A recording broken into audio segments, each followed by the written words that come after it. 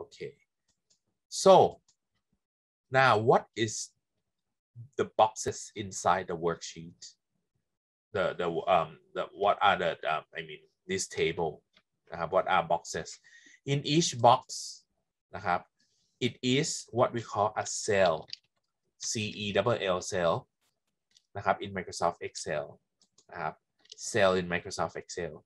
Cell is the coordination between column and row นะครับ between column and row for example in here you can see that um, on my screen นะครับ it's a coordination of column H row number 8นะครับ the coordination between column H and row number 8 this cell is called cell H8 H8 นะครับ we start with column name first column H row number 8 is H8 so in order to see the location นะครับ of that cell you can see the highlight of the column and the highlight of the row นะครับ this is the way to notice this is H8 นะครับ um, apart from that one นะครับ when you want to know that uh, what location it is you can see on the name box as well the name box right now is showing the location of the cell นะครับ that is H8 cell H8 what is the cell for the cell is used to enter the data in it it can be the text it can be numbers นะครับ or it can be the date and time and other values it can be the currency นะครับ that we have to use or it can be the formula นะครับ or it can be the formula that you would like to enter so um, in this one นะครับ I'll not talk about the formula yet นะครับ but one thing that I want you to see is that you can see that in the cell H8 I type the text CELL cell, right? I type the text CELL cell. Also, if you have a look in the formula bar, it shows CELL cell as well.นะครับ How to edit the data here? you can see that in um, the cell. If you would like to edit the value inside the cell, you double click on that cell and then you just type anything in there. For example, if I want to make this um, text to be plural, cells, something like this. This is one way that I can do.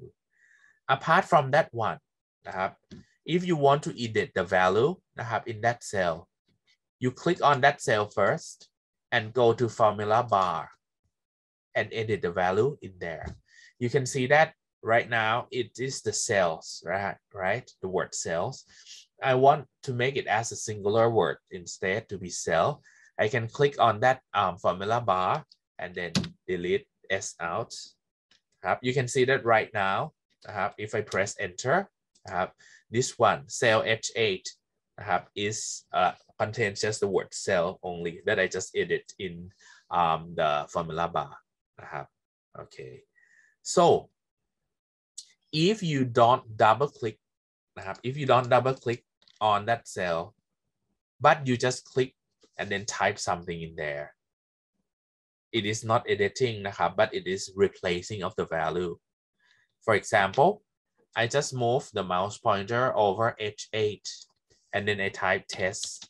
You can see that the word cell is gone. So if you want to edit it, you have to just double click to edit the value inside. Okay, right. Okay, so now you know about like the cell, column, and rows already. Cell, column, and row already.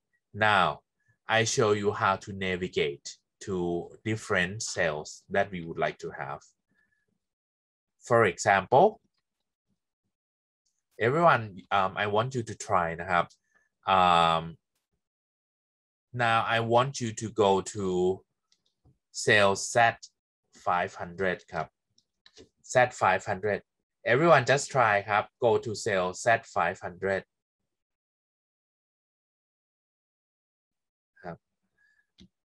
when you want to go to sales Z 500 have, the way that we normally do is that you may go to column Z first. And then you just move, you just press um, down arrow key on your keyboard uh, to Z 500. Now, do you get Z 500 yet?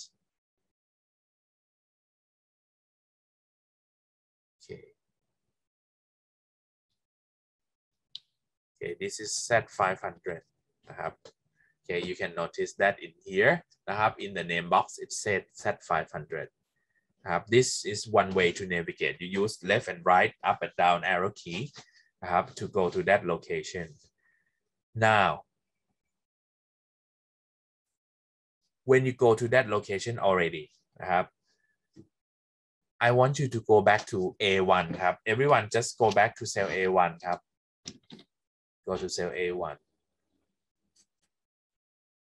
so I'm sure that you do the same thing นะครับ just use up down up and left arrow to go to A1 ครับ now let's see we have the shortcut how to get to A1 นะครับ if you use Windows based computer you have to press control and home control and homeนะครับ um, on Mac, I'm not sure. Today, I don't have my MacBook around here. Um, if I'm not wrong, it should be function and then home button, something like that. Okay. If you press control home, it jumps back to A1 immediately. Uh-huh. Now, if you want to go back to Z five hundred once again, what should we do? Because I just like type something in um, the Z five hundred and I want to edit it. Uh-huh if you have to press the button um, arrow keys again, it wastes a lot of time. Now let me tell you the shortcut. In order to go to the shortcut, we just, sorry, not go to the shortcut. We use the shortcut way in order to go to a, uh, to go to Z 500 is that you go to name box, you go to the name box, type the location that you want to go so in this one, I type Z500 and press enter. Then it just go to Z500 for me automatically, uh, so that I can edit anything. Uh, okay. Now, if I want to go to A1, uh, if I don't type, um, if I don't press control and home, I can go to name box and type A1 as well, and then press enter. Then it just like jump back to A1. ครับ so these are just like the shortcut way in order to navigate to the sales that you would like to go. Just a little bit more นะครับ um, for the column it start from column A B C and so on uh-huh. when it just like go to end of the last letter that is Z the next column will be AA นะครับ uh-huh. will be AA AB until AZ. And then it goes to BA, BB to BZ, CA, CC, CB, CC to CZ นะครับ and then it goes down um it goes more and more and more until column ZZ นะครับ um suppose I go to ZZ1 first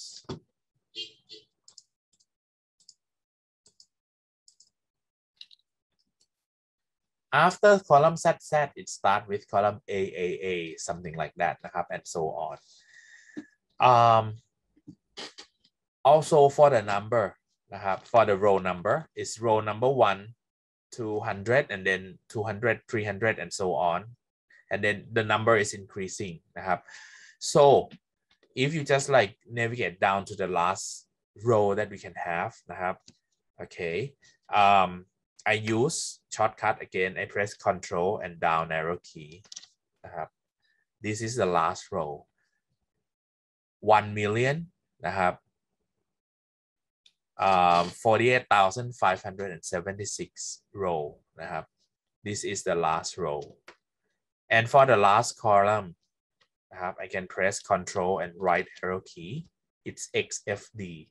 Uh, so that means in Microsoft Excel, it can consist up to millions of cells นะครับ in one table นะครับ but most of the time we don't use up to millions of cells in there except you are a data analyst นะครับ um, sometimes you may have heard like some um, new occupation they called as like um, data scientist นะครับ or in term of business you might be called as um, data um, data analyst นะครับ um, so these kind of people they use lots of data นะครับ in one table but I mean like for everyday use นะครับ we may use like at most like 1,000 2,000 cells นะครับ in one table only นะครับ because um, even though Excel provide you millions of cells นะครับ in one table but if you use them up in order to process the data, it will be very, very slowly if your computer doesn't have the high capability enough in order to process. Uh, so that's why uh, most of the time we may use like up to 1,000, 2,000 cells only, right? So now we learn about like the cells that we have already. Let's move on a bit. Underneath this table that you have got, you have a tab called sheet one, right? You have a tab called sheet one. This one is called as worksheet. I Have one table that you have got have is called as a worksheet. So if you want to have more worksheets, have you can have it as well.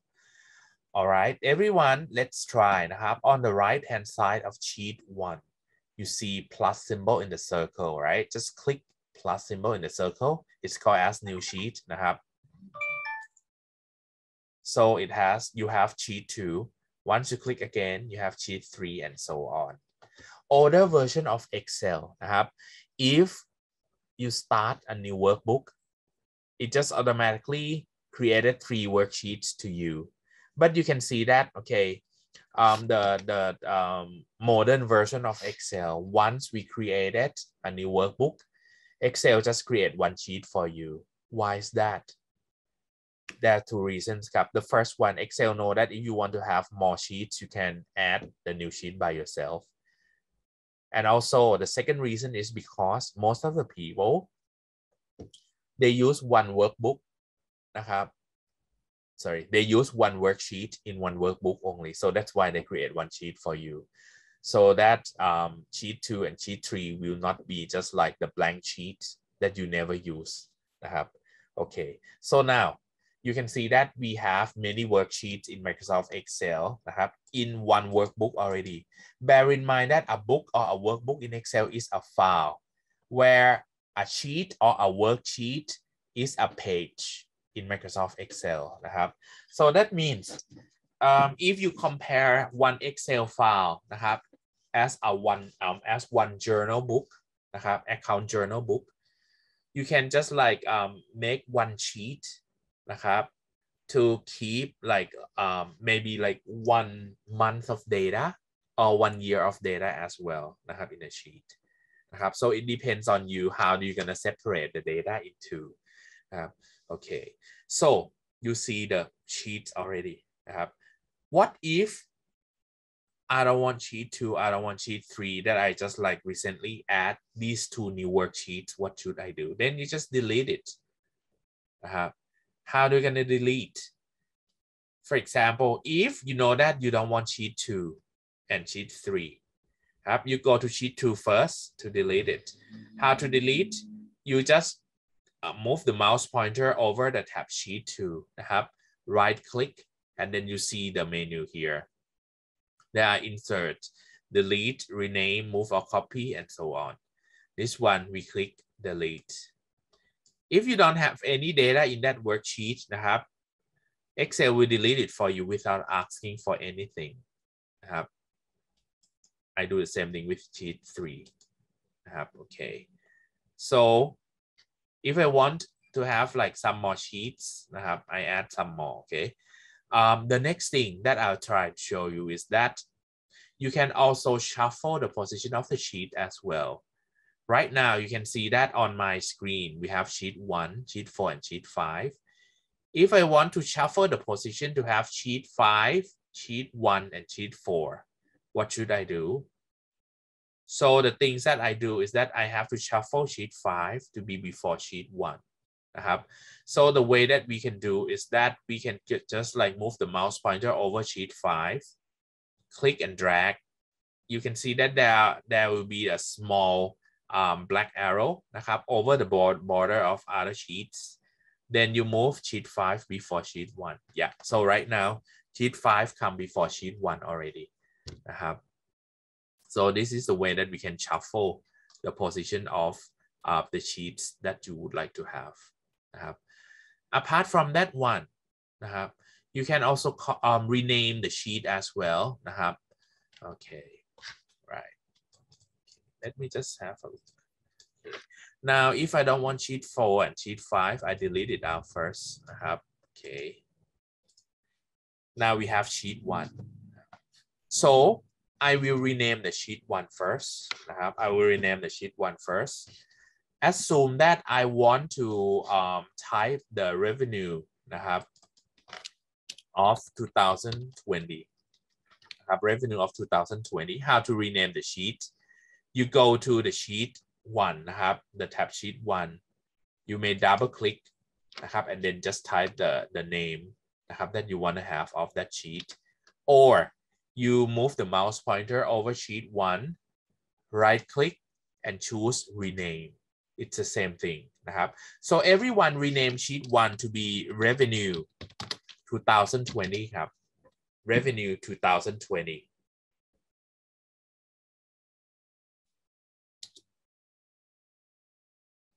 okay so now we will enter the data into our worksheet นะครับ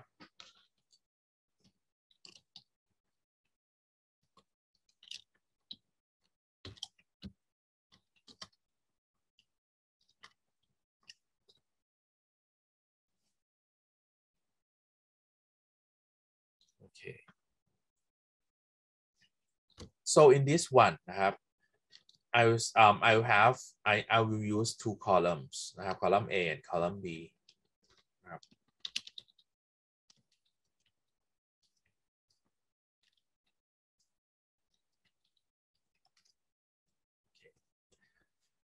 All right. So now I'll just like um, tell you that, okay, Microsoft Excel has a feature in order to autofill the data for you นะครับ especially for the data that is like um what to say in um order นะครับ or the the um data that is sequence นะครับ for example month for example quarter นะครับ that is basic in um Microsoft Excel นะครับ and also numbering as well นะครับ is the basic thing that Microsoft Excel can generate the uh, autofill of the data for you. For example, if you want to enter months นะครับ from January นะครับ to December. If you have to type January to December it wastes a lot of time ครับ Microsoft Excel help us in order to fill up the data but you have to start showing Excel that okay what is the order? นะครับ that you want Excel to generate for you for example I want January to December the good example for telling Excel for this order is telling Excel for example of two months first then I type January and February so Excel นะครับ will anticipate that the next month should be March April, and so on, because you start with Jan and Feb. So how can we make Excel to generate um, other months for us?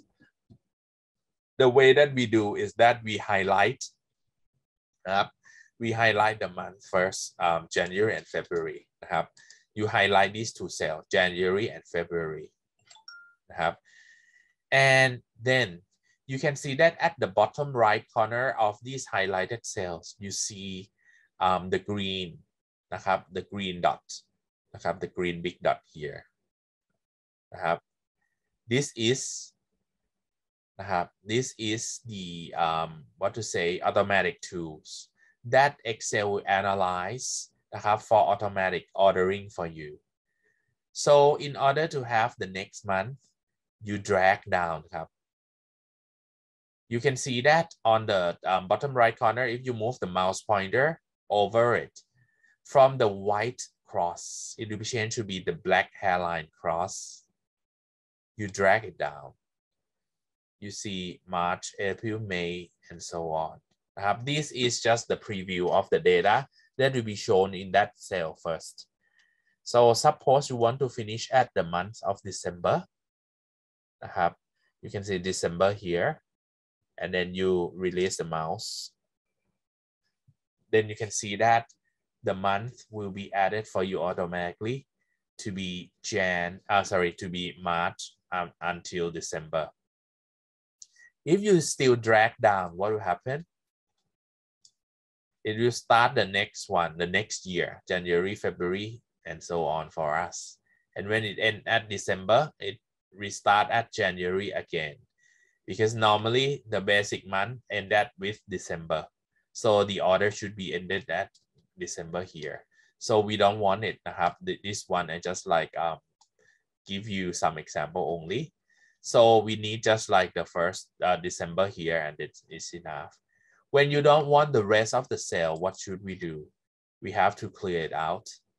In order to clear the data, um, let's see how to clear the data properly So you highlight unwanted cellsนะครับ you have couple of way to do that the first one นะครับ after you highlight you press delete button on your keyboard นะครับ it clear out the data for you this is the first way นะครับ or second way after you highlight unwanted cells already you right click and you choose clear contents นะครับ clear contents this is the correct way to clear the data นะครับ some of you say that can we use delete menu you can see that if you highlight these cells and then you choose right click and choose delete it's different from clear contents นะครับ let's see what happened once you choose delete it asks you how to delete if you delete นะครับ you have to shift cell left or shift sales up, shift entire row, or shift entire or, or delete entire column. In here, if you choose wrongly, some other data will be gone as well. So that's why in this one, I don't recommend you to delete, but I want you to clear contents only. Okay. So in this one, in this one, you can see that for the month and revenue, it's over the text is over the border นะครับ for example นะครับ for example in here นะครับ um, the month of September November and December they just like um, use นะครับ the width over the border of column A then you have to widen it นะครับ in term of column B นะครับ the cell B1 here the word in US dollars is over the border of column B, you have to widen the column as well. We learned already how do we gonna widen the column? Or how do we gonna heighten um, higher up the height of the row The first way that we do is that you click on that column first. Have go to the right border and then drag you can see that this is the way that we do นะครับ in order to widen the column okay now นะครับ I'll teach you for two more ways um two more ways in order to widen the column is that okay the first one the first way is that if you know the column width นะครับ in numbers you can just like enter the number นะครับ so for example if you want to widen column A นะครับ you click on column A first right click and choose column width then it shows the column width for you นะครับนะครับ this is not centimeters นะครับ this is the points นะครับ they count the unit of points so for example in here it said 8.43 points you want to make a width to be 10 points then just type 10 in here นะครับ then it's widened นะครับ so what is this one used for if you want to widen many columns at the same time, you can just like do thisนะครับ you just like for example in here I want to widen column A and column B to be in the same width นะครับ I highlight both of them first and then choose right click and column width in this one you can see that Excel is showing that these two columns have the width as 8.43 points. If you say that, mm, I want these two columns to have 20 points, I type 20 and press OK. So these two columns will have the same width. Uh, we do the same thing as a height. Uh, it's apply um, the same concept as a height. Okay, when you know the, the columns width in term of numbers, you can specify the width like this. But sometimes we don't know the exact width, but we want Excel to justify the proper width of the column. What should we do? So if you say that, okay, you don't want to just like um, manually move to widen up the column นะครับ the way that we can do is that we make uh, Excel to make a decision for you นะครับ this is automatic justification of the width firstly you highlight the column that you want to justify the width first after that, you move the mouse pointer on the right border of the column. Then you double click up. Now it just justify the width นะครับ by just like checking นะครับ the cell that has the widest that consume the widest width for example in here is September นะครับ so it will just like add it will just add like some extra width a bit นะครับ for you to justify same as column B นะครับ in here If you want to do the automatic justification of the width, you click on column B and then, then you double click on the right border. I have this one. It's automatically justification, right? Okay. Okay, so when we have this thing already, I have next time, I will just like talk about how to fill up the data in here. I have um, then I'll just let you just like type the revenue นะครับ and also we just like move learn the way how to move the table นะครับ into the exact location that we would like to have ครับ so up to this point do you have any questions กับ anyone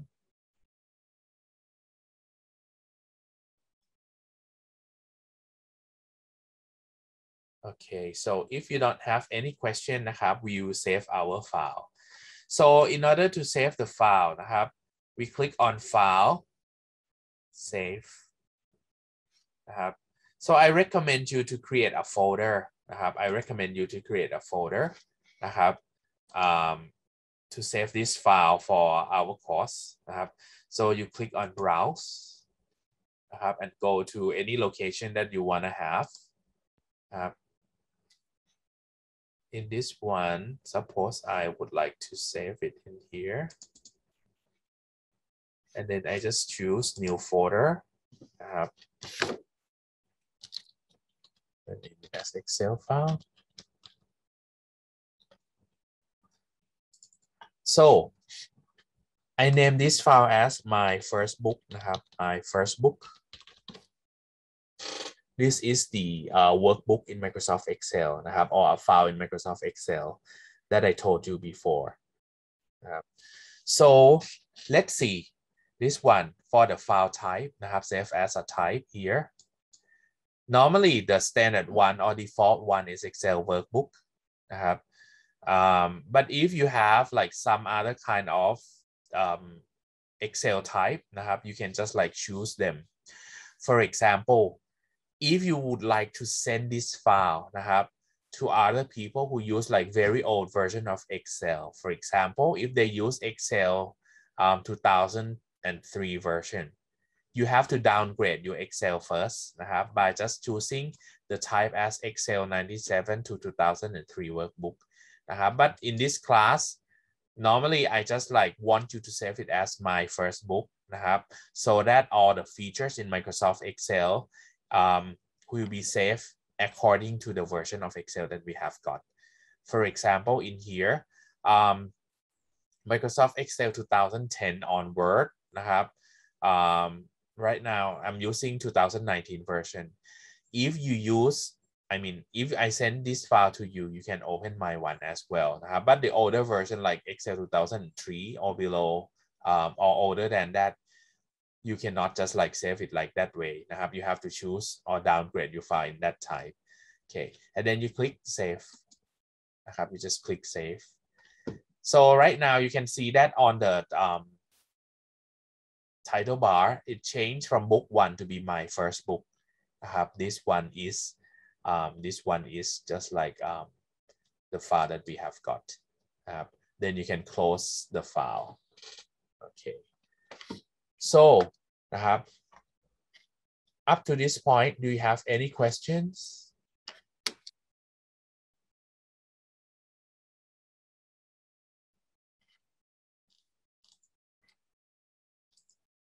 Okay, so if you don't have any question นะครับ um, let me just tell you a bit นะครับ for the class attendance actually I don't I don't call your name นะครับ but um, for the um, what to say for the attendance, I can just download from the um, um, the Zoom participation on uh, the participant list I have automatically.